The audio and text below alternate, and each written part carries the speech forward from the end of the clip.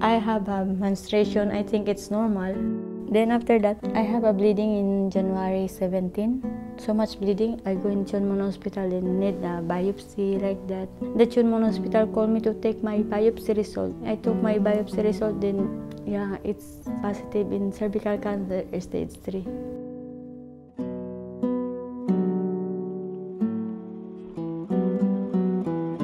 He gave me a full salary.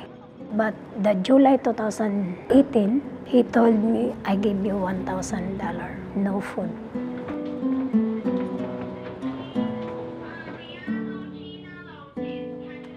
I only renew my visa every month.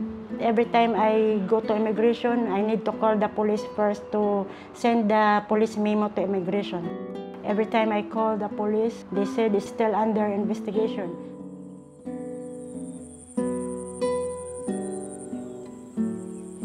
She was awakened by her employer and she was given a termination letter. She told me that she doesn't only have kidney failure but also cervical cancer stage 3. I signed this termination letter. I don't have access to do my treatment here in Hong Kong.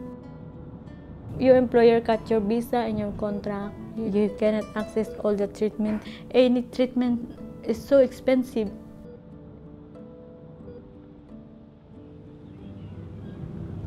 You know, the doctor said you have a 50-50 chance to survive. You know what feeling that only little hope that you can survive this kind of illness. But